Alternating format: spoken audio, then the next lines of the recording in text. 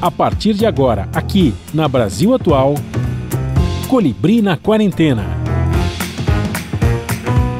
Uma conversa com quem está envolvido em trabalhos de cultura e entretenimento em tempo de pandemia. Colibri na Quarentena um momento para refletir e se reinventar na música, no teatro, no cinema e em todas as expressões de arte. Olá, pessoal. No programa de hoje nós vamos conversar com a cantora, compositora, atriz e bailarina Katia Bronstein, mais conhecida como Katia B. 40 anos de carreira trabalhando com música, teatro, cinema e TV. Ela foi fundadora da trupe do Circo Voador e também do grupo básico Instinto de Fausto Fawcett, entre outros projetos cinco álbuns lançados e dois DVDs. Kátia está lançando Canções de Outro Mundo, EP que traz cinco composições inéditas de Antônio Saraiva, especialmente escritas para artista a partir de títulos propostos pela cantora ao compositor. Um papo sobre as canções, a carreira e o coletivo Samba no Ar. Tudo online em casa, ainda na quarentena. Começando mais um programa, nós vamos para o Rio de Janeiro conversar com a Kátia B, gente. Kátia B está completando 40 anos de carreira e está lançando um novo trabalho, chama-se Canções de Outro Mundo.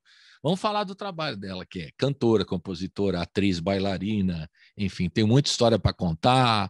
Começou no, no Circo Voador. Bom, tem uma história bacana para contar para a gente e a gente vai ouvir um pouquinho das músicas da carreira dela, né? São cinco álbuns, se não me engano, você vai me corrigindo aí, Kátia. Cinco álbuns, dois DVDs e agora o EP Canções de Outro Mundo está sendo lançado agora. Bem-vinda, Kátia B, né? E Kátia B, de, é, Bron, como que é o sobrenome? Pro, pro, da é, B. Perfeito, ó, só para começar, perfeito, você foi perfeito no tempo, nos discos, no EP. Tudo bem com você? Tudo bem, eu estou falando que você aqui. é chamada Kátia B, mas, falei, mas não sei o nome dela exato. Como é que é o seu nome? Eu vou completo? contar tudo. Conte Kátia tudo. B, no... Diga, como não como vou nasceu? esconder nada aqui. Ótimo. É, quando eu fiz o meu primeiro disco, meu nome é Kátia Bronstein. Né? Bronstein. Bronstein, meus avós são ucranianos, vieram olha, olha da Ucrânia e imigraram, né? Meu, meus pais já, já são brasileiros enfim, sou, sou Kátia Bronstein, e Bronstein é, vem, vem do alemão, Brownstein, tem várias curiosidades, eu vou contar duas. A primeira, por que, que eu virei Kátia B? Quando eu fiz o meu primeiro disco, que foi mixado pelo saudoso, querido, amado produtor sérvio, que morou em São Paulo muitos anos, chamado Suba, o Mitar Subotic, Subotic, é, o Suba mixou o meu primeiro disco em 1999. E quando a gente estava fazendo o trabalho de mixagem aqui no Rio, no estúdio do Frejá, é, as fitas que usávamos eram aqueles dates, Sim. aquelas fitas, caixinhas pequenininhas. Então vinha um monte de, de material dos dois produtores do disco. Uhum. E aí eu abreviava, porque não cabia Kátia Bronstein, eu botava Kátia B. E aí, na hora de dar o nome ao disco, o Suba começou. É Katia B, Katia B, o nome do disco é Katia B. E ali eu acabei virando Katia B. Foi ele que teve essa visão e essa sugestão. Então eu brinco assim, quando eu trabalho como atriz, eu assino hum. Katia Bronstein. Eu brinco hum. que é Katia Bronstein para os íntimos. E Kátia B. como atriz é Kátia Bronstein, como é cantora é. Kátia B, etc. É, certo? é por aí. É uma, é uma e aí, forma... a outra curiosidade, só, só juntando, enfim, Ótimo. a gente daqui a pouco vai falar do EP que eu estou lançando agora, que é o single e o clipe que eu lancei é da canção Amber. Uhum. Amber, que foi a primeira composta para esse trabalho, é uma, esse nome, né? Tem algumas outras músicas famosas que chamam-se Amber. E um amigo da, da música falou para mim: você tem que mudar esse título, como é que você vai chamar âmbar? Já tem um monte de música. Só que assim, a letra é âmbar, ela fala da ancestral rota do âmbar no Oriente. Hum. Quando o âmbar valia mais do que o ouro. Então é, é planta pedra envolta de tempo, no perfume guarda luz. Ela é toda em cima do âmbar. Então eu não consegui mudar. E aí eu vinha descobrir que Amber, quer dizer, que o meu sobrenome Bronstein, que vem do alemão Braunstein, é pedra marrom. Brownstein. Pedra marrom é âmbar. Ah. Bronstein quer dizer âmbar. Olha, essa é demais, hein? Essa foi Então demais. você pode ser Kátia Âmbar também. Eu Kátia conheci uma menina que chamava Âmbar, uma menina que, que, trabalhou com a gente na Folha, era o nome uhum. dela era Âmbar. Né? Nome Bonito. raro também, bonito. E eu então, posso ser Kátia Âmbar. Âmbar, então, quando você quiser mais um nome para o seu para suas, suas, as suas vertentes artísticas, você pode Kátia B, Kátia Bronstein e Kátia Âmbar. Tá? Você pode usar o que você quiser. Você é bem-vinda de qualquer jeito, seja qual Kátia for, viu? Kátia, vamos contar um pouquinho da, da, Antes da gente começar a passear pelo disco. Bom, vou começar já ouvindo o disco, né? O, o âmbar, que você já falou do âmbar, é legal ouvir logo de cara o âmbar. Mas antes de, de, de da gente começar a falar um pouquinho do trabalho, como é que você trabalhou esse tempo, né? Esse tempo que foi muito difícil. eu tenho, eu li as entrevistas, você fazendo algumas reflexões, né? Desse tempo de carreira e a gente fica mesmo, né? Muda muito o, o perfil das coisas, o, o, imaginar das coisas, faz uma reflexão e tal. Como é que você passou esse período que espero que esteja terminando? É, de confinamento, de isolamento, de reflexão. Você fez muito isso? Como é que foi para você? Olha, é claro que não foi fácil em muitos momentos, porque estamos todos ligados a outras pessoas e todas as questões que aconteceram nos impactaram, me impactaram. Agora, é, eu tenho dentro aqui da minha casa um estúdio que eu montei lá há mais de 20 anos, é, quando eu comecei né, a fazer a minha pesquisa musical autoral. E esse espaço ele, ele cresceu, ele ganhou um lugar maior, e é um espaço onde vem acontecendo há mais de 20 anos muita coisa de música, de gravação, de ensaio, e de encontros. Então, é um lugar de profunda nutrição para mim. Eu já e eu tenho uma uma facilidade, digamos assim, com essa ideia de parar, refletir, olhar para dentro, uh, ficar sozinha, ficar no silêncio. Esse é um lugar de conforto para mim. Então, não foi uma época assim que eu vou me lembrar como um período dificílimo da minha vida. Foi realmente um período que eu, nós todos tivemos que parar. Então, eu fiz muita coisa aqui nos mundos internos, né? Nos mundos da vida interna, do corpo, da mente e da construção artística, digamos assim. Eu estudei, eu comecei a fazer uma faculdade de teatro online, porque Poxa. quando você abriu o programa, né, e a, e a gente conversando aqui, né, essa ideia de que, de repente, eu percebi que há 40 anos eu estou nesse ofício, porque eu tenho 56 anos e quando eu tinha 16 foi quando eu comecei, quando eu nasci artisticamente, que foi é, dentro, junto de um movimento que aconteceu, um movimento artístico muito importante aqui no Rio de Janeiro, foi o nascimento do Circo Voador mas o primeiro circo voador, o do arpoador, que ficou dois meses montado na ponta da praia de Ipanema, que é o arpoador. Ali foi o resultado de um curso de teatro que o Asdrubal trouxe o trombone e deu, e vários grupos de teatro fizeram esse curso e vários outros profissionais de poesia, de acrobacia, de dança, eh, de música, se uh, juntaram a esse movimento que resultou no circo. Então, é um, foi um encontro muito potente. Meu grupo é, de teatro tinha o Cazuza, Bebel Gilberto, Alice de Andrade, filha do cineasta Joaquim Pedro, enfim, foi uma coisa muito forte. Então, eu considero ali o meu nascimento artístico. E dali nunca mais parei. Né? Com 17, eu já estava em São Paulo fazendo um musical Chorus Line, musical americano. Primeiro grande musical, acho que foi montado aqui no Brasil, produzido pelo Walter Clark. Também eu estava com Cláudia Raia, Thales Panchacon, Raul Gazola.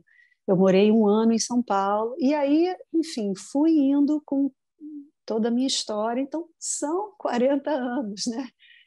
Então. Legal, é... mas é legal histórias para contar, né? É... Muito bom. É um barato, porque eu não sei, eu tô com uma fome de bola que parece que comecei ontem. e ótimo. Mas na pandemia, por... então, eu fui trabalhando e eu, e eu gosto muito de estudar. Eu sempre estudei cursos livres com, enfim, professores maravilhosos de teatro, de dança. Eu tive uma formação, eu nunca fui bailarina, eu nunca fui integrante de uma companhia de dança, mas eu tenho uma formação de dançarina que eu usei e uso no meu trabalho.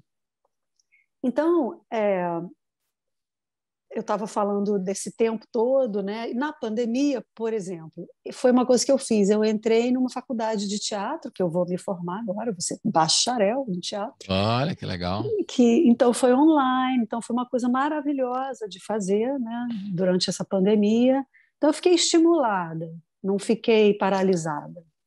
Bom isso.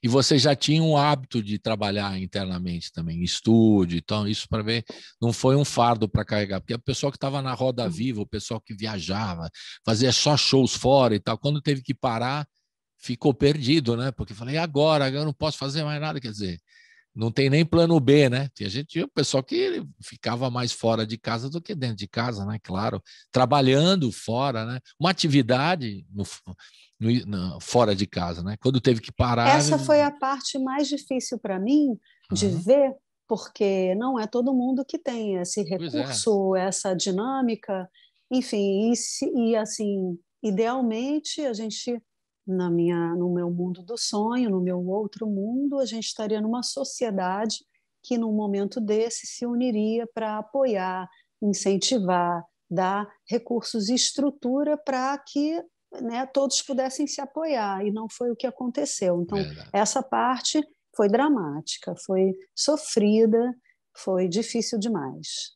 Verdade. E muita gente teve que se virar, mudar até de ramo, né, Kátia? Você deve ter Sim. informes aí e casos a contar.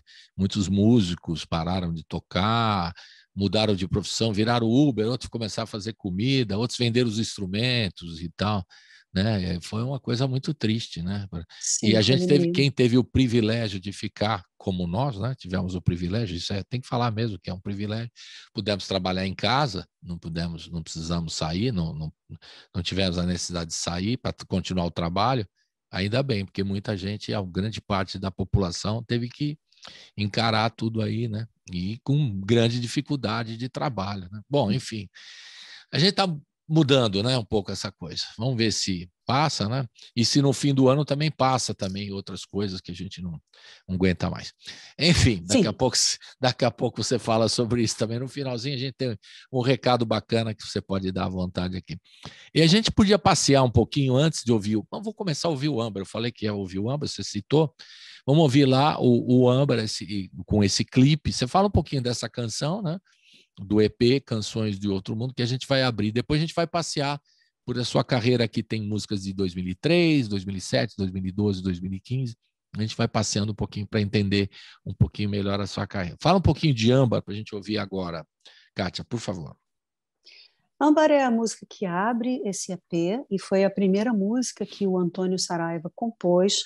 Né? Esse EP ele é fruto do diálogo entre eu e o Antônio, que é um artista carioca, compositor, músico, arranjador, que eu conheço desde o Circo Voador, do Arpoador, desse encontro explosivo.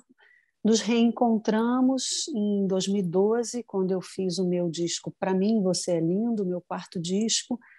Eu gravei uma música dele chamada Sem História, e aí a gente começou um diálogo artístico.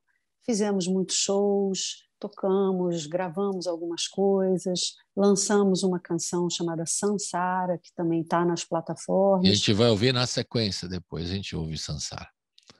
E aí a gente teve vontade de produzir material novo a partir do nosso encontro musical.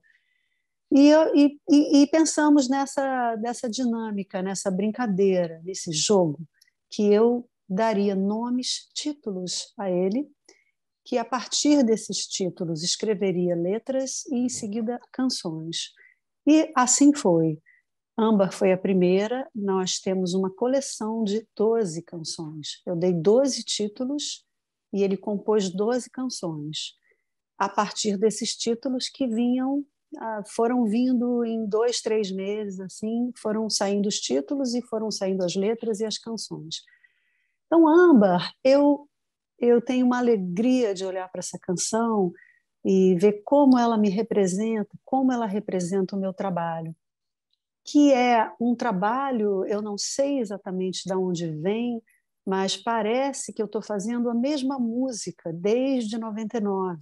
No meu disco Katia B, que eu citei, que o Suba mixou, tem uma música do Vitor Ramil chamada Que Horas Não São, que também é uma estrutura modal, assim, uma estrutura harmônica que a gente chama modal, é, dos modalismos, assim, e tem escalas assim orientais, eu não sei se isso vem das minhas raízes né, do, do, judaísmo, assim, que é a parte mais forte que eu tenho da minha origem judaica, assim, é a música, essas melodias, assim, eh, Oriente Médio.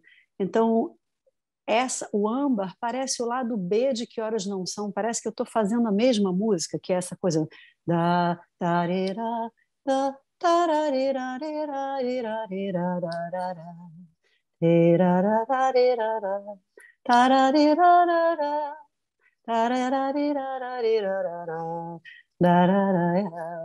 tem uma coisa assim sinuosa que para mim expressa o feminino, uh, camadas e a, e a, maneira como eu busco apresentar, né, de camadas de texturas de sons que vão se revelando aos poucos então, Âmbar, ele, ela foi muito nesse lugar, assim, de uma continuação dessa minha história musical, da minha construção musical.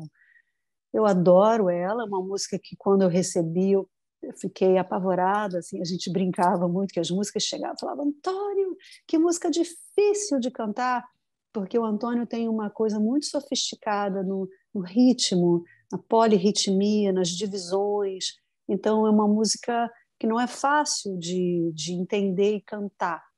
Tem um amigo nosso que brinca assim que as músicas do Antônio ou você não aprende ou você não esquece. Porque depois que, que, você é o barato, depois que você começa, agora para mim Âmbar virou assim, parabéns para você. Eu canto ela assim de olho fechado, brincando. Mas é assim, você pega ela, parece uma coisa difícil, depois ela vira assim parte do corpo.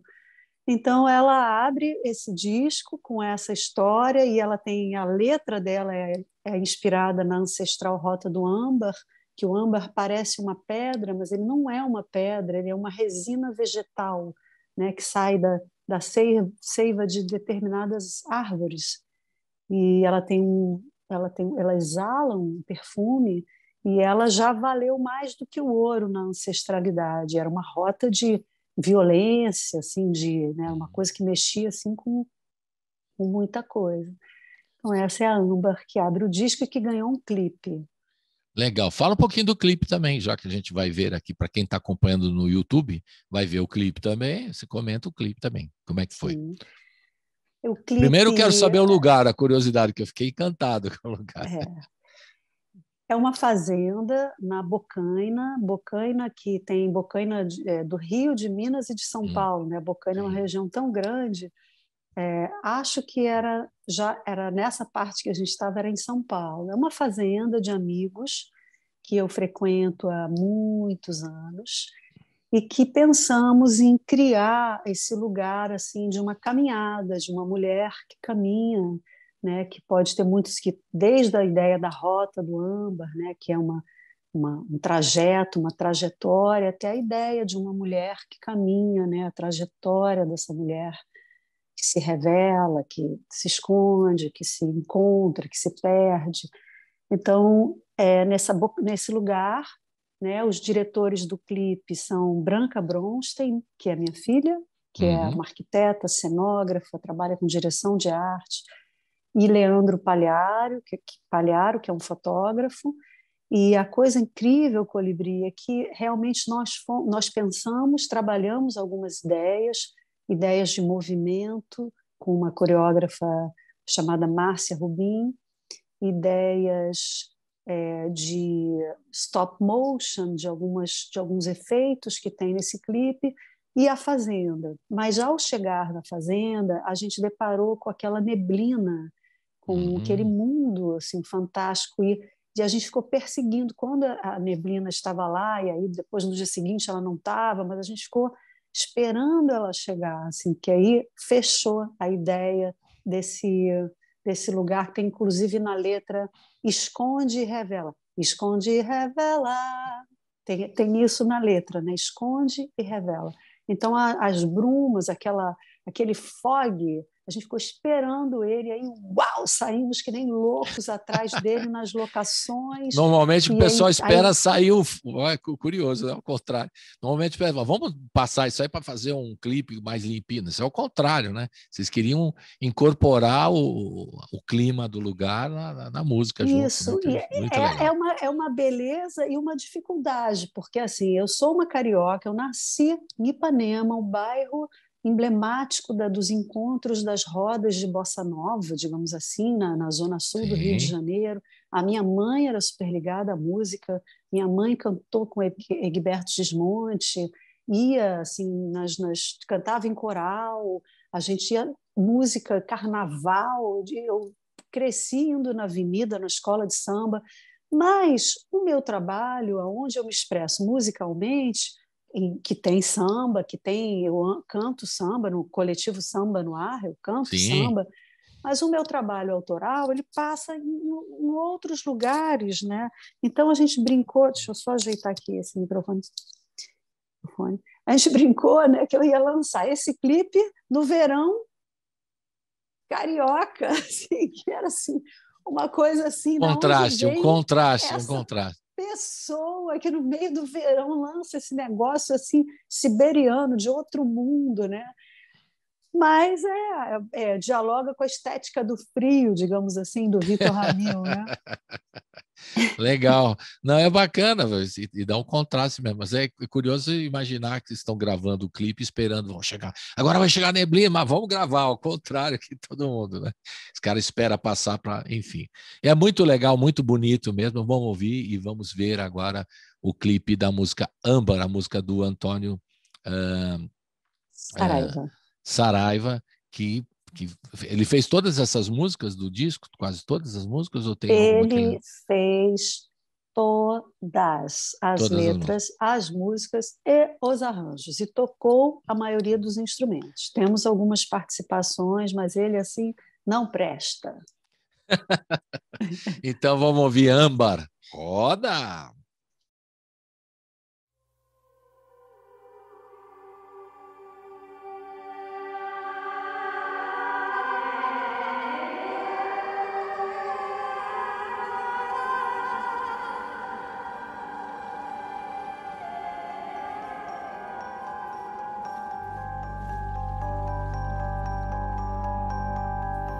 Planta pedra em volta de tempo, no perfume guarda luz. Rota de aventura, Deus, risco do caminho. Toda história escrita em rastros, jamais e sempre mais. Sol de muitas outras manhãs, véu, esconde e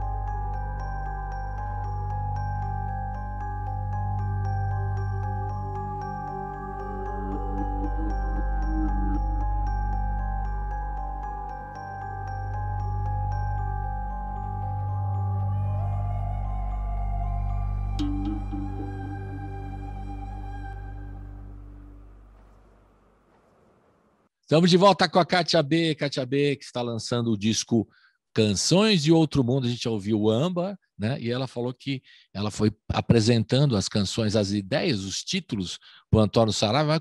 Foi uma provocação? Você fala assim, vamos falar sobre isso? Ou você dava só o título? Você provocava o Antônio Saraiva? Como é que foi que funcionou o processo desse negócio? É, uma, uma provocação artística, digamos sim, assim, né? Sim. Porque como ele... É, Antônio é, é uma coisa, a música ama ele. Ele fala, música não é problema. Ah, é? Então tá. Então, ó, o título é De Longe. Ok. Aí ele vai e escreve uma letra linda, uma música deslumbrante. Né? Porque isso é bonito. Os, os compositores assim que eu trabalhei nesses discos que você citou, eles todos me pediram um mote, um título, assim, um título não, não necessariamente um título, um tema, um mote. Então, Fausto Fawcett, que compôs o meu hino, Só Deixo Meu Coração na Mão de Quem Pode, uhum. pediu um, um, um, tema. Pedro Luiz também, que compôs nesse mesmo disco uma letra, é, uma parceria, né? eu comecei a letra, ele completou também me pediu um tema. Então, é bonito isso, porque aí norteia o compositor. É, porque é, é, muito aberto. Um desafio, né? eu não diria provocação, né? corrigindo aqui a palavra. Desafio. Um desafio. Propõe esse desafio a você. Tem um antigos programas de televisão, agora a palavra é tal, vamos lá. É, é. Boa, boa. Você lembra? Tinha um programa antigo, né? não sei se você lembra, de programa aqui em São Sim. Paulo. Essa noite se improvisa, que o cara falava a palavra, né?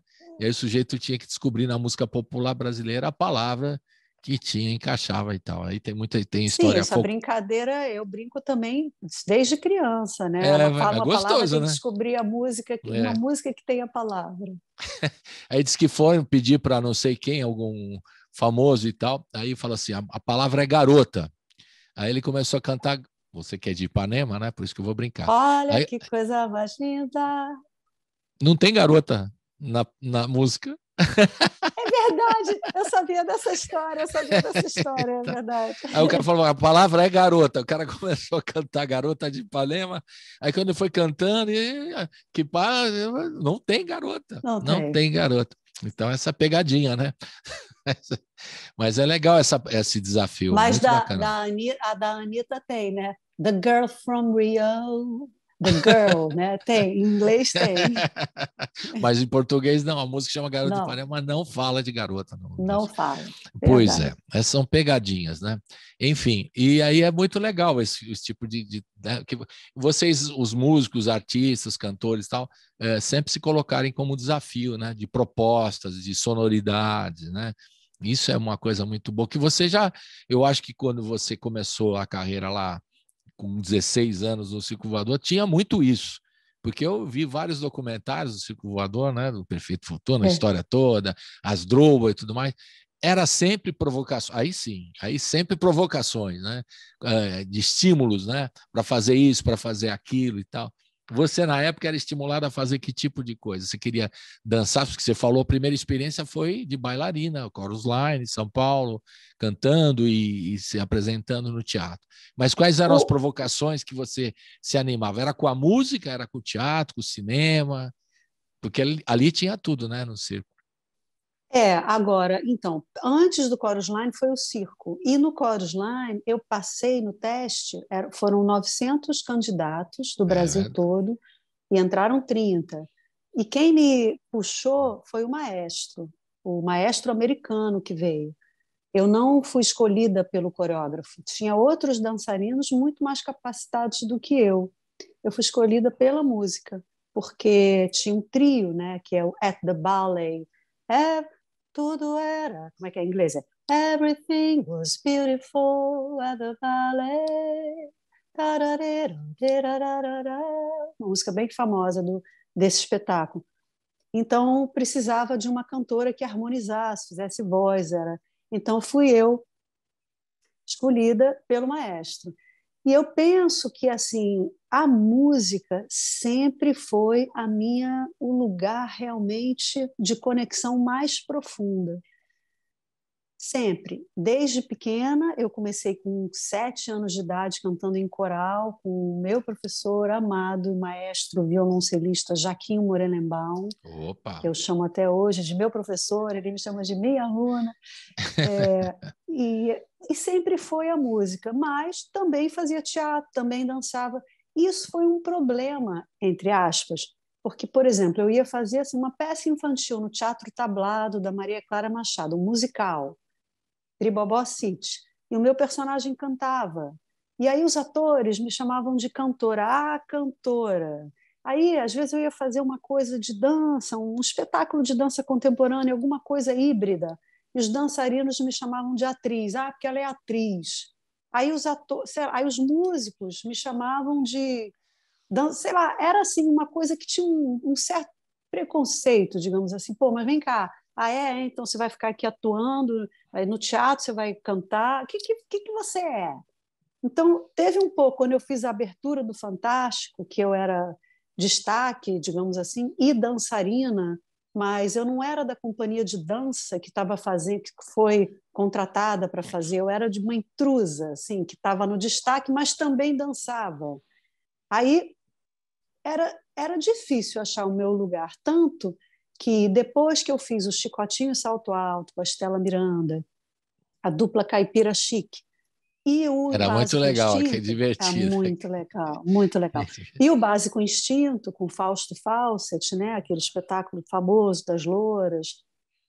Então, depois disso, eu senti que era hora de eu fazer, parar e falar, não, vem cá, agora eu vou ter que fazer, o que, que eu quero falar? Que, que é o meu trabalho musical? É a música, então? Porque o teatro musical e o lugar da, do trabalho autoral, assim, da música brasileira, de um artista que tem um trabalho na música brasileira, uma artista brasileira, é muito diferente esse lugar de fala ou de canto. Né? O teatro musical tem uma, um canto assim que a gente chama de belting, um canto mais impostado, aí uhum. você está a serviço de um personagem.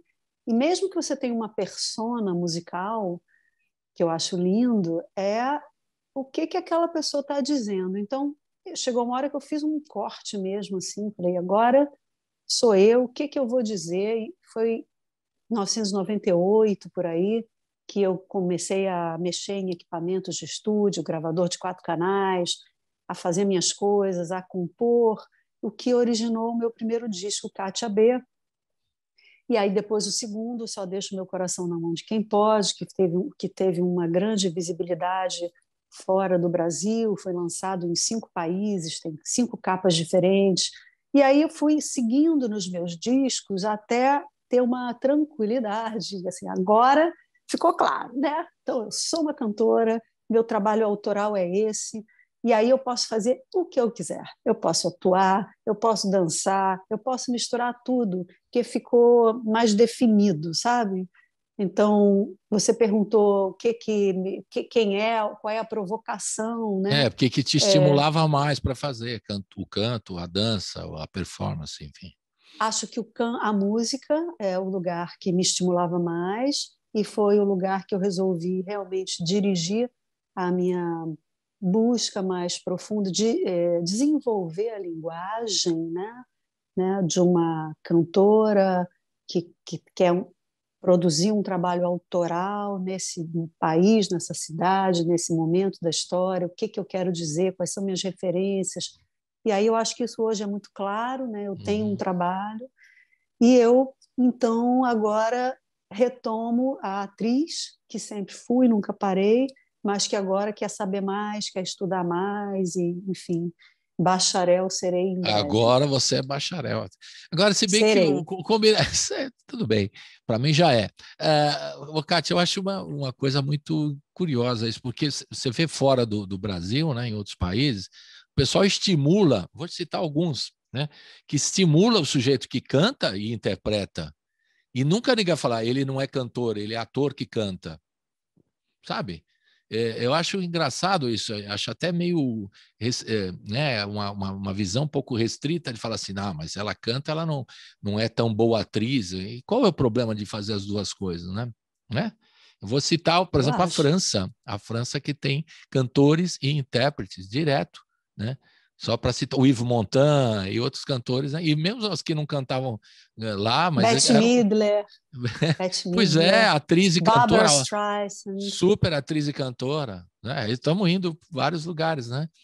É. Estou citando aqui.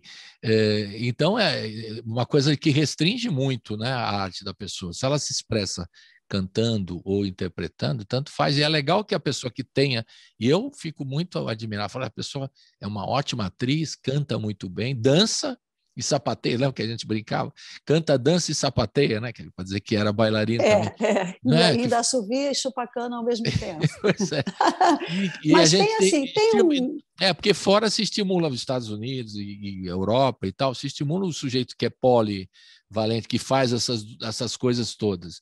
Aqui, não, quero botar na prateleira. Não, ela só é cantora, não pode atuar. Não, ela só uma bobagem, né? Ou não? É, eu sinto muito assim alguns atores que ficam muito famosos e têm um trabalho de música, têm uma dificuldade de serem aceitos na música. Parece que é assim, ah, aquele ator que está cantando. Mas assim tem um lado que eu entendo, concordo, assim, que é para eu entrar na música, eu realmente botei a minha vida ali. Eu entrei na, na linguagem, né? Que talvez eu não tenha entrado tanto na linguagem do ator, do estudo dos textos, desse lugar mais profundo da arte de interpretar. Às vezes é são escolhas né, do, do teu tempo, da tua energia, e aí o retorno também vai vindo de acordo com a sua doação. Então, agora eu estou resgatando um pouco disso, assim, me aprofundando mais Legal. nesse lugar. Vamos passear agora, começando, vamos ouvir Só Deixe o Meu Coração na Mão de Quem Pode. Ah, já contando a história da Kátia, né? Lá para trás, né? Esse disco foi lançado quando? Que tem esse título também, com essa música do, do Fausto Fawcett. Que ano que foi, foi lançado? 2003. 2003. Então vamos ouvir essa canção e eu queria que você falasse um pouquinho de, de, do clipe também, né? Que tem um, um, né, uma coisa, um, um, grafismo, um desenho, a pessoa não desenha. Você vai contar para nós.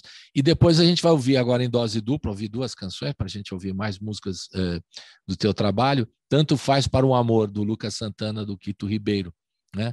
Vamos ouvir essas duas canções juntas. Eu queria que você falasse dessas duas para a gente curtir agora. Fale um pouquinho, por favor. Só deixo meu coração na mão de quem pode. Foi uma um presente na minha vida, assim, uma música que abriu muito os caminhos do meu trabalho, porque acho que ela foi uma felicidade, um encontro da letra do Fausto, né?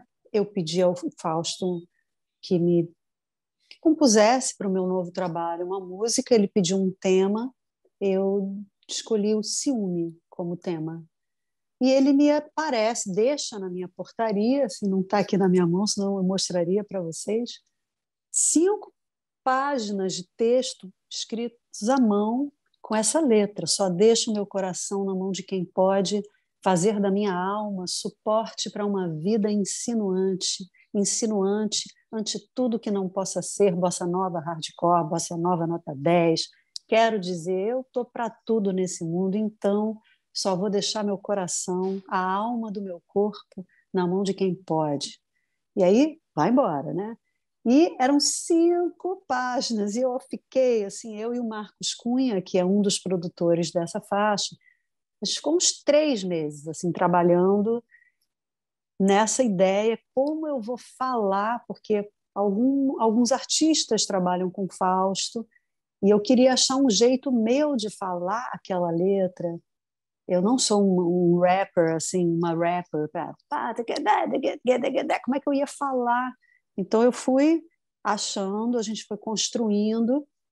Entrou o Plínio Profeta, que é um também músico e produtor, e criou uma harmonia, que é uma harmonia tradicional de samba, nessa música que tem um andamento mais lento.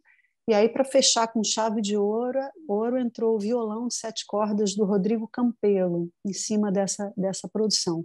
Então, a gente assim ficou uma, uma realização, assim uma faixa muito potente.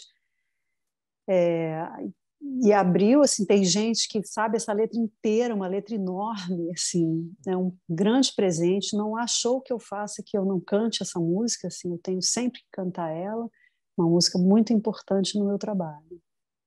Legal. E na sequência a gente vai ouvir Tanto Faz para o Amor. É do mesmo disco?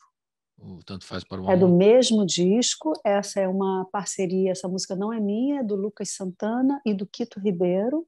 Uhum. É, dois compositores muito queridos, compositores de mão cheia. Também foi produzida pelo Plínio Profeta. Temos uma participação na gravação original do René, que é um artista cubano que mora aqui no Rio.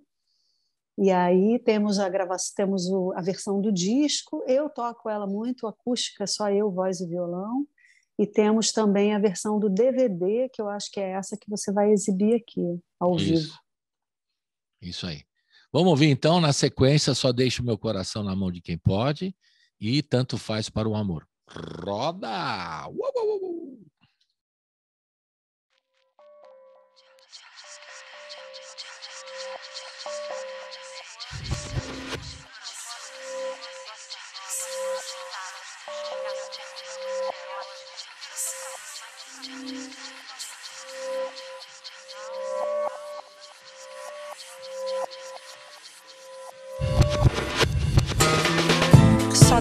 Meu coração na mão de quem pode fazer da minha alma suporte para uma vida insinuante.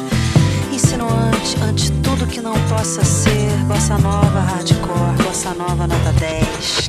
Quero dizer, eu tô pra tudo nesse mundo, então só vou deixar meu coração, a alma do meu corpo na mão de quem pode.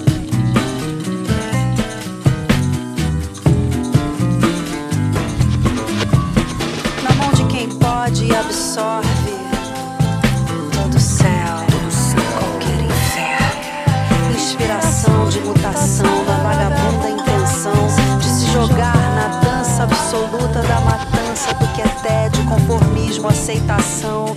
Eu fico aqui, vou te levando nessa dança. Submundo pode todo do amor.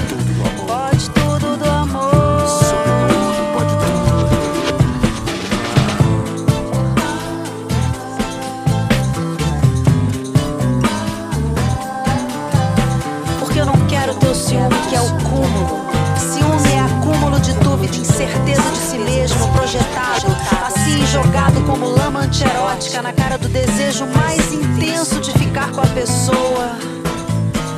Eu não tô à toa. Eu sou muito boa.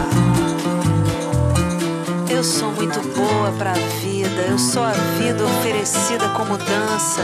E eu não quero te dar gelo, jealous.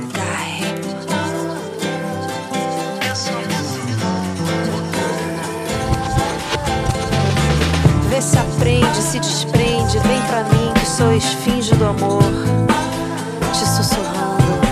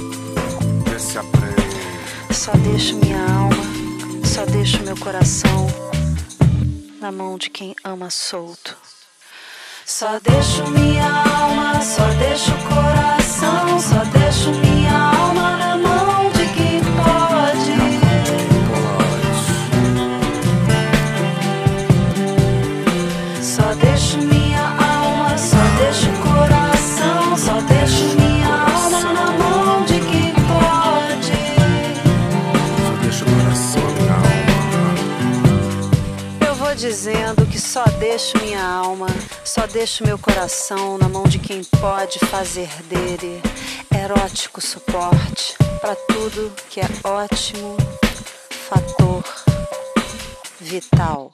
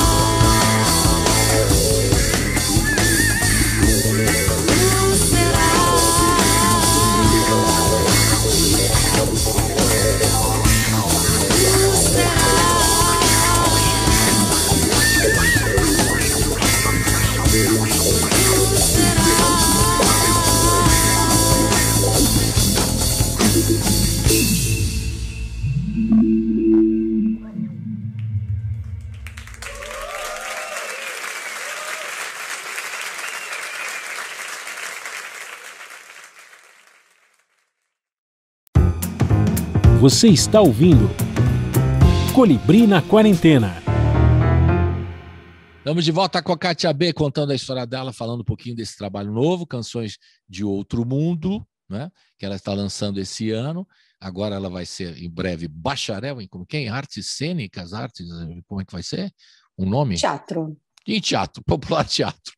Estou é. querendo, querendo, botar uma, um nome pomposo. É popular teatro, que ótimo, né?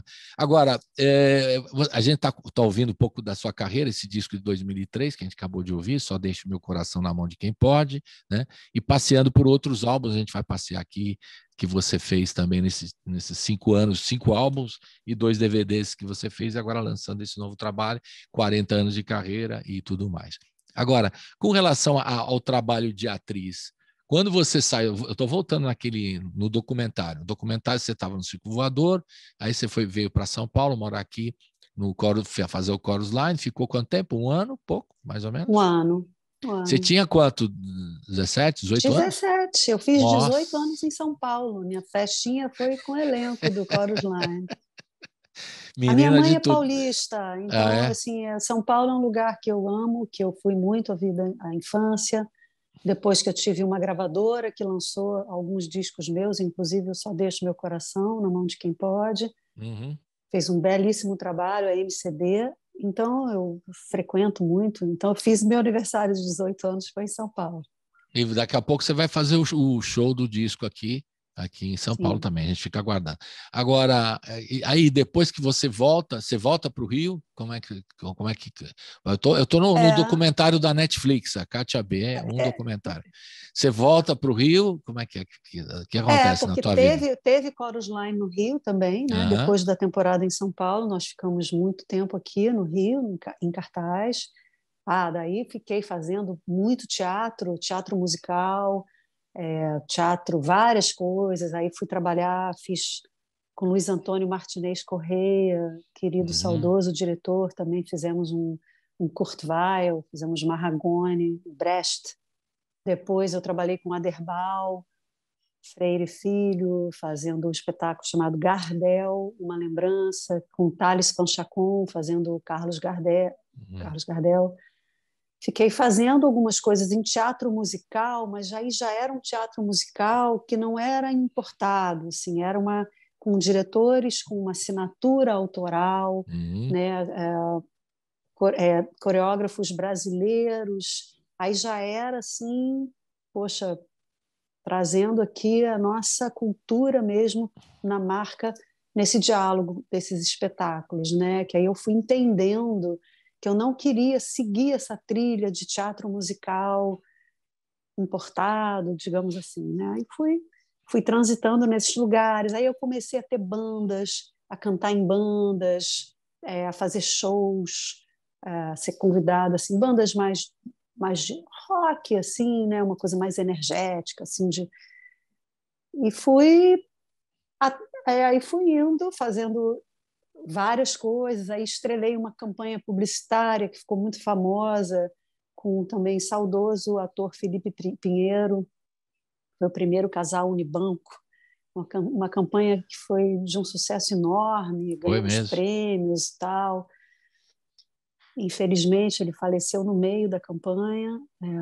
E aí foi nessa época que come... aí veio o Chicotinho, o Salto Alto e o espetáculo do Fausto que eu tinha 27 anos, já tinha feito a abertura do Fantástico, já tinha feito alguns filmes, né? fiz filme com Hugo Carvana, isso quando eu era bem, bem jovem, filme uhum. com Walter Salles. Foi aquele Bar Esperança né, que você fez com o Hugo? Foi? Bar Esperança, mas é, aí eu então. tinha 16 anos. Foi na época do Circo menina. Menina de tudo, né? Aos Legal. 19 anos eu fui mãe, Colibri, eu tive uma filha Olha. quando eu tinha 19 anos. Então, no meio disso tudo, era mãe já. Eu tenho dois filhos. Eu tive a Branca Bronstein, quando eu tinha 19, e o Vicente, quando eu já quando eu tinha 38. Então, no meio disso tudo, a maternidade muito presente, né? Eu sou uma mãe assim feliz de ser mãe, eu gosto de ser mãe, então isso tudo junto E aí, quando eu tinha já 27, por aí, foi, foi a campanha do Unibanco, Chicotinho Salto Alto, e entrou o Fausto, Básico Instinto. E aí, como eu contei, a parte depois do Fausto é que eu começo a, a buscar esse meu lugar de fala, né? que aí segue. A carreira, digamos, a carreira hoje. solo da Katia B, a partir daí. Legal. E é com o Básico Instinto, você tem amizade com ele até. É, como é que foi isso aí? Porque foi um estrondo também, foi um grande sucesso no Rio, aliás, no Brasil todo, né? O foi. Básico Instinto. Como é que, como é que foi essa, essa, é, essa eu experiência? Eu fazia aula de dança, né? Porque eu sou, eu estudo sempre, né? Eu estou sempre é, em alguma troca assim de aprendizado. Então eu estava fazendo aula de dança com a Debinha Coker, né? Débora Coker, ela dava aula de dança no, aqui no Rio, em Laranjeiras, desde a Debinha, enfim, eu, eu conheço desde pequena. É, e aí, no Circo Voador, ela estava lá também com Coringa, a companhia de dança da Graziela Figueroa, e eu fazia aula de dança com a Debinha. E aí começou um papo na aula, a Debinha falando que o Fausto ia montar um espetáculo, que ia ter louras, que ia ter poesia, que ia ter música. E aí eu ouvi aquilo, fiquei, não, eu eu sou loura, pô, sou loura. A gente brincava, sou loura, que era o nosso grito de guerra, que tinha muito, sou loura, no espetáculo. E eu liguei para o Fausto, Fausto, sou loura. E aí eu entrei no Básico Instinto, ele me chamou, que foi assim muito legal, muito importante para mim, sobretudo porque no começo ele era um espetáculo cult, digamos assim, que acontecia em lugares pequenos aqui do Rio e tinha esse encontro assim de uma all-star band, né, que eram músicos de bandas icônicas, famosas, né, o Dado da Legião, João Baroni, que é pai do Vicente, meu filho, que conheci no Básico Instinto, dos Paralamas, é, enfim, o, vários, vários passaram o Dé, né, Dé Palmeira, hum. que era baixista do, do Barão Vermelho. E cada loura, né, no começo eram quatro, tinha, cada artista tinha a sua característica. Eu era Kátia Talismã, não era Kátia Flávia, tá, gente? É, Kátia explicar. Talismã, Kátia, Kátia B, Kátia Bronson, Kátia Âmbar, Kátia Talismã. e eu era a, a figura que era ligada à banda. Então, eu cantava além da minha música, eu fazia vocal. Tinha a loura que era mais dançarina, tinha a loura que era mais sensual, tinha a loura cantora, que era eu. No disco, foi uma a gravação desse disco foi uma experiência importante para mim, eu canto bastante. Então, era uma coisa assim que a gente chamava de mais cult, porque era um sucesso, era era uma linha tênue, né? Porque as, as letras do Fausto, né? nas canções exaltação da mulher, da beleza da mulher, mas é uma verve poética, aguda, incrível, aquela banda tocando, assim, era uma alta voltagem artística e poética. E foi, eu estava assim, no momento da minha juventude, assim, com uma plena força assim de expressão de corpo, de voz, foi muito lindo. E aí foi crescendo bastante, aí realmente foi a gente foi ganhando palcos grandes. Bra Brasil todo acabou, né? Brasil Curtindo todo e tal. Aí foi mudando também um pouco o elenco e tal. Teve uma hora que para mim não fez mais sentido, porque o sentido do espetáculo foi para um outro lugar, assim, que eu que eu não me interessei nesse lugar de fala, né? Assim que Aí, mas eu acabei saindo também porque comecei a fazer minhas coisas e tal, e teve um momento que eu, que eu parei, mas até o show do Canecão, que foi assim um auge é. aqui no Rio, eu estava lá. Legal. Você acha que hoje, por exemplo, só para falar, tem algumas coisas que o Fausto Fawcett colocava nas letras e tal. Você acha que ele seria mal entendido hoje? Porque tem um pessoal que faz uma revisão é, a respeito do, do, da coisa politicamente correta ou incorreta né? Uma análise assim, até olhando para trás, que é uma injustiça, porque cada época tem o seu momento, a sua, a, o seu discurso daquela época, aquela coisa do momento, né? E você acha, por exemplo, que a música dele, daquele, daquela época, seria considerada hoje é, politicamente incorreta, machista, talvez? Não sei. Como que você entende isso? Talvez, Colibri, porque é um trabalho que exige né, do, do espectador, né? exige que ele tenha recursos para compreender num, num panorama maior o que está se dando ali, né? Talvez, né? Essa parte que é, fica a pergunta, né? Porque ao mesmo tempo esse lugar de fala hoje em dia da afirmação do feminino, de um corpo que que não pede desculpa, é, que faz o que quer, que a mulher está ali sendo homenageada, celebrada, não subjulgada ou subusada. Ela é o, o centro da homenagem. Ela manda, né? Ela está com uma banda incrível apoiando ali, assim, dando um back, né, suporte assim para ela se expressar e um poeta é, cantando um hino homenagem a ela. Então eu vejo por aí, né? A minha leitura é essa. Uhum. E ela está ali, a rainha da cocada branca, da preta e da que puxa. Ela, ela manda no negócio, uma espécie de precursor da Anitta. Né? Outro dia eu vi a Anitta falar: Ah, dizem que eu sou isso e aquilo. Ah, eu sou mesmo. Achei muito bom. Ela tem um discurso bastante transparente, isso é muito legal né, na história dela. Eu estou falando isso porque tem uma, uma, uma vertente aí hoje que pessoas. É, aquilo lá não se admite mais o que fazia, entendeu? Porque é isso que está sendo feito e tal. Eu acho que é um pouco injusto, porque cada época tem um momento e um discurso daquele momento, né? uma fala daquele momento.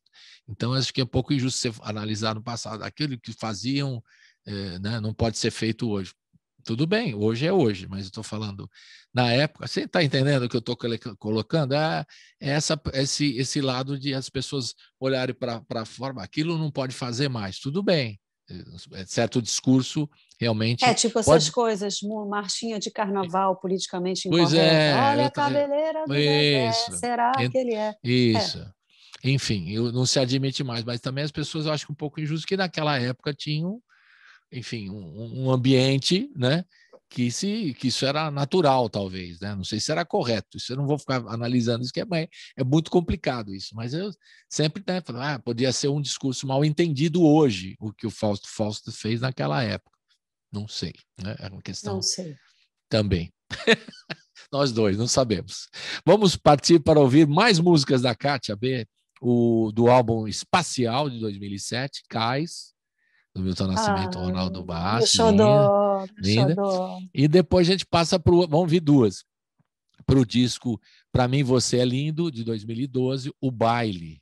Né? Então eu queria que você falasse um pouquinho dessas canções. A gente vai ouvir nessa sequência: Cais, de 2000, quer dizer, 2007 e 2012. Vamos ouvir. O que, que você pode falar dessas duas canções, O Baile e Cais? Começando com Cais. Milton Nascimento, né, quando, como eu comentei, minha mãe era muito ligada em música e ela ouvia muito o Milton, né, e essas canções dessa época, de, de Cais, do Clube da Esquina, de Minas Gerais e tal, a minha mãe ouvia muito. E eu diria que Beatles, Milton Nascimento, assim, eles são partes estruturas, são influências assim que estruturaram a minha persona musical. Quando eu começo a fazer um disco, vem, ele nasce de um lugar que eu não sei explicar, nasce de algo que vem vindo, ah, eu quero fazer isso, eu quero gravar essa música, e uma coisa vai levando a outra, e aí a coisa vai se desenhando, eu vou quase escutando assim o caminho. E eu pensei, eu estava um dia assim, em São Paulo fazendo um show, eu pensei no Cais, falei, eu vou gravar essa música, eu quero cantar essa música, e ela foi feita assim lindamente pelo Marcos Cunha, que é o produtor, arranjador dessa faixa. É uma das faixas que eu mais me orgulho assim no meu trabalho. Eu acho que eu consegui chegar muito perto assim do meu do que eu imagino que é, que muitas vezes eu imagino uma coisa e, e não chego lá. A gente até brinca, né, que nunca dá para chegar lá na faixa quando você materializa, grava, mixa, masteriza. Aí se tivesse chegado lá completamente, aí, pô, como é que você vai continuar? Você nunca pode chegar lá, porque você tem sempre que faltou alguma coisa para você continuar fazendo, né? de brinca. Mas Cais, assim, ela me representa muito, assim, eu sou muito feliz com aquele arranjo. E enfim, aí tem o clipe também muito bonito, que foi feito aqui numa praia, no Rio. E a próxima é o baile, o baile que é do no, disco ah, mas pra... olha a curiosidade, que no Cais, quem gravou a bateria foi o Jean da Silva, que é um músico pernambucano, um percussionista, baterista, compositor e cantor espetacular. O Jean é música, é música que anda pelo mundo, ele é a música. A presença dele em show, em gravação é garantia de que a coisa vai acontecer eu, meu sonho de consumo é ter o Jean sempre comigo nos shows. Ele gravou essa bateria, que tem a ver com a bateria de Arran, que eu gravei a música de Caetano Veloso e João Donato, que é uma bateria que é um samba que não é todo tradicional. Olha, está passando o carro do ferro velho aqui, talvez vocês escutem geladeira, Não estamos ouvindo, não estamos ouvindo. Máquinas. Então, a bateria de, de Arran, que foi João Baroni que gravou, que no final tem uma, uma coisa livre assim de improvisação. A gente retoma isso, essa ideia em cais. E o, o baile, que a gente vai ouvir aqui na sequência, é uma parceria minha com o Jean da Silva. Com o Jean da Silva. Uma música que a gente compôs aqui no meu estúdio juntos. Gravei no disco Para Mim Você é Lindo, que é esse disco que também tem a canção Sem História do Antônio Saraiva. Bonito, né, Colibri? Como é que tá tudo, tudo é ligado, conectado, né? tudo conectado. Tudo conectado. Vai uma coisa que espraia na outra, que busca atrás e joga lá na frente. É, Eu acho que a criação para mim é isso, é você fazer agora uma coisa que tem a ver com a, com o que já aconteceu e olhando para o que para onde você quer ir, né? É uma relação com essa linha do tempo que se funde. Legal.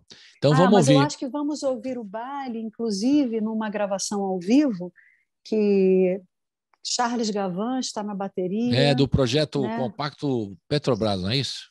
Isso aí. Diga lá. Isso aí. É o Charles na bateria, o Jean na percussão e cantando, Bernardo Bozizio no violão, Caio no piano e acho que Jorge Ailton no baixo. Acho que é isso. Legal. Uma banda Maravilhosa. Banda ótima. Vamos ouvir então Cais, na sequência o baile. Roda!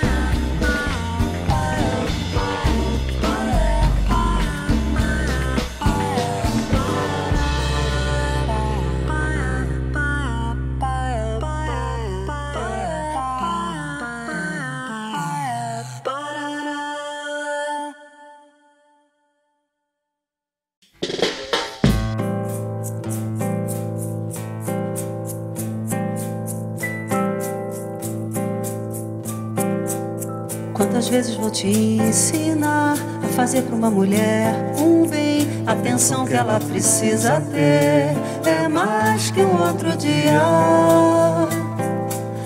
É na areia que eu vou caminhar e sentir o que é melhor para mim. O seu olhar era tudo que eu queria. Todo dia sem tua atenção, esperando sua decisão pra saber onde é o baile. Eu não sei de nada. Sem tua atenção, esperando sua decisão pra saber onde é o baile. Eu não sei de nada. Tudo bem, pode acreditar. É mais do que pedir perdão, pode esquecer.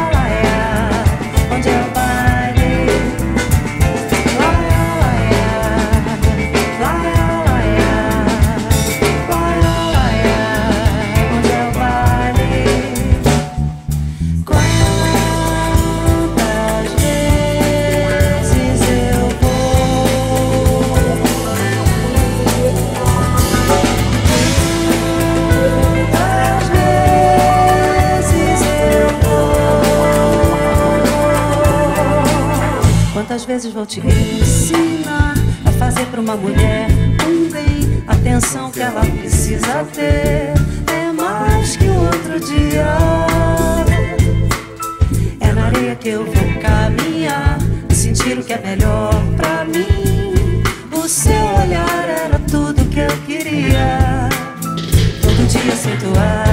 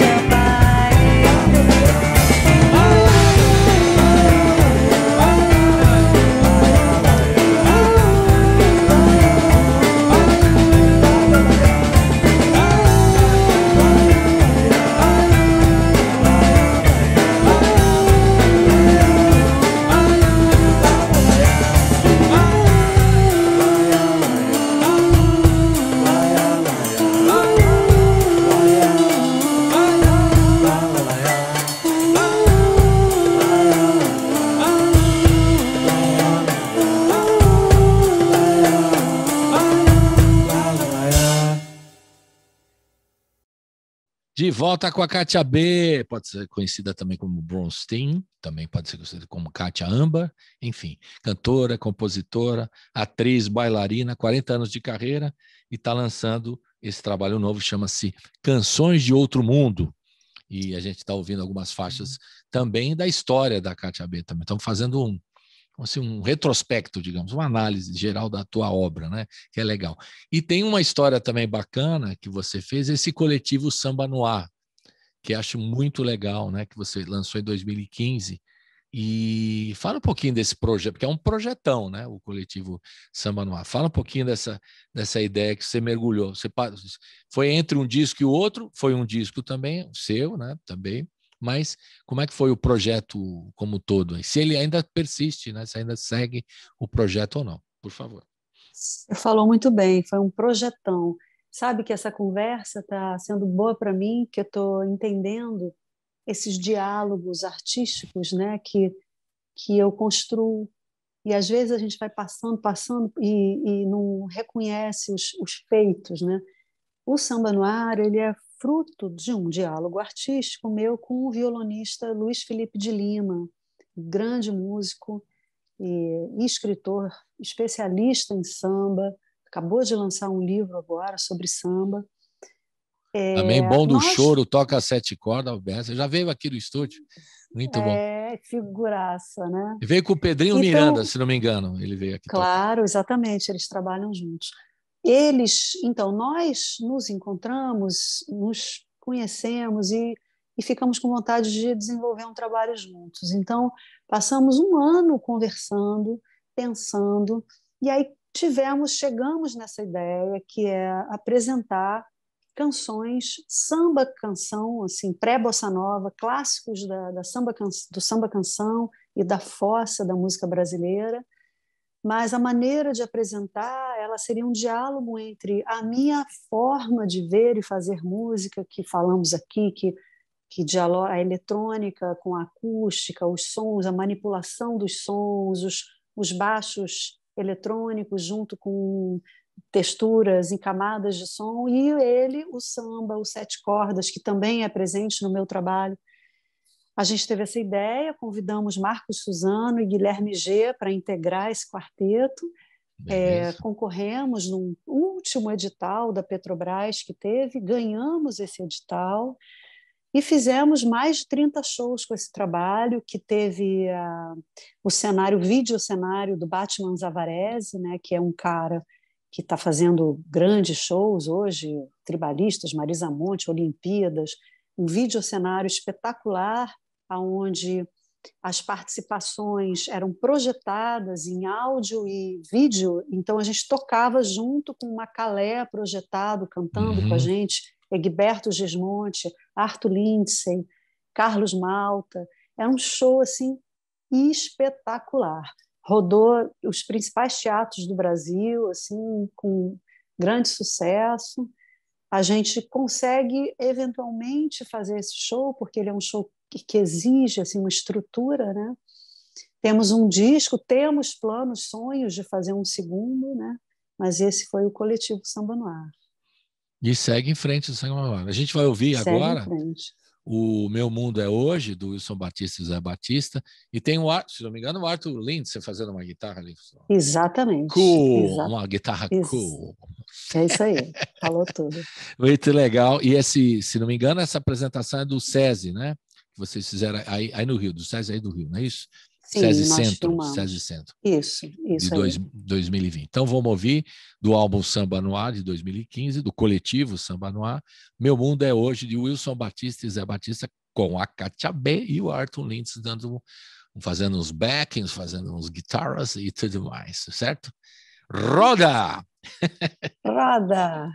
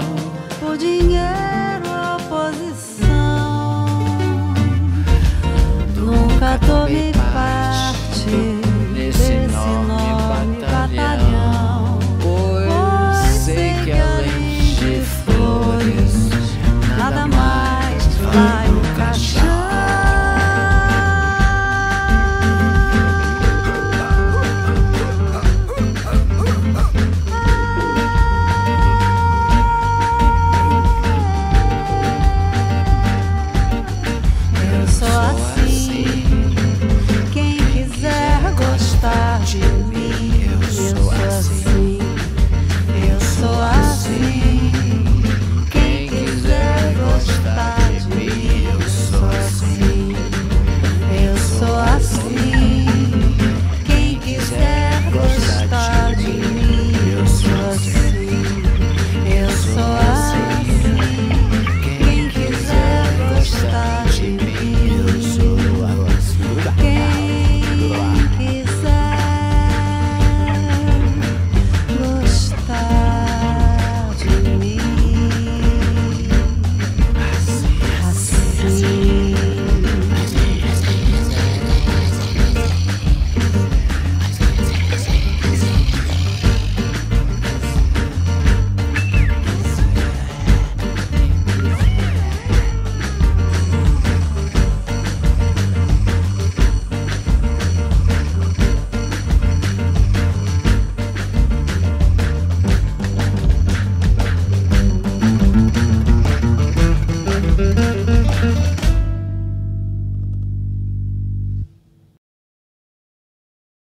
De volta aqui na, na reta final com a Kátia B aqui contando a história dela, 40 anos de carreira, lançando, já lançou cinco álbuns, dois DVDs, agora é o sexto álbum, né?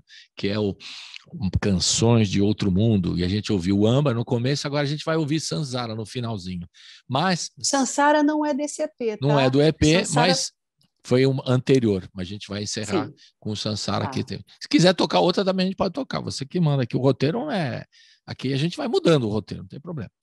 Mas eu queria que você falasse um pouquinho eh, da, da artista. Hoje a gente falou no comecinho das dificuldades, do momento de confinamento que você se deu bem, até fez cursos, enfim, eh, conseguiu, apesar dos problemas né, de saúde de familiares que sempre tem, seguiu em frente e conseguiu se dar, eh, enfim, razoavelmente esse momento eh, complicado da vida. Agora quero saber como é que você coloca em perspectiva esse ano aqui, um ano importante para nós, né? Tem eleição, a questão da cultura brasileira, como é que você ente- entende? São várias perguntas. A, a cultura brasileira hoje em dia que está sendo destruída, né, por esse governo de inominável, a parte de educação também junto com a cultura, né? A parte de música. Como é que você vê como artista que fez tanta coisa que a gente, olha, contou aqui, né? Sua trajetória, desde menina, 16, 17 anos, atuando, trabalhando, né? 40 anos não é pouca coisa de, de carreira, de músicos, discos, e projetos de TV, tem, nem falei da TV, projetos na televisão que você fez, em publicidade, enfim, tudo que você se envolveu. E hoje em dia o artista, por exemplo, tem dificuldades para fazer qualquer coisa, né? É, agora a gente está voltando espetáculos ao vivo, presenciais, né? Alguns estão vindo com tudo, outros com mais moderação, sei lá, né? Cada um tem o seu, o seu tempo, né? E como é que você enxerga esse panorama todo para a cultura brasileira? Poxa, colibri é uma coisa muito complexa, né? É um ponto de muita dor, né? Acho que eu sou apaixonada pelo nosso país, pela nossa cultura, Acho que a gente tem uma riqueza aqui que, numa boa, eu não vejo assim essa complexidade, essa diversidade, essa potência que a gente tem na, nas artes, na arquitetura, enfim, em muitas áreas, né? Então, é, as artes na, durante a pandemia nesse lugar foi um lugar de, de salvação, né? A arte salva, salva quem faz, salva quem desfruta, usa, né? o que teria sido essa pandemia sem os livros, sem os filmes que a gente assistiu, sem as lives que os artistas fizeram, né? E a arte ela realmente sobrevive, né, a qualquer brutalidade que foi uma brutalidade, né? Esse nunca é fácil, né? Ser artista, viver de arte, eu acho que em nenhum tempo, em nenhum lugar, claro que há diferenças, Van Gogh ele morreu sem ter vendido um quadro. Verdade. Né? Então nunca foi fácil, mas é esse o lugar, né, que de, de fala que a gente tem e, e foi uma tristeza ver realmente essa brutalidade, esse governo. Eu espero que a gente supere isso nas próximas eleições.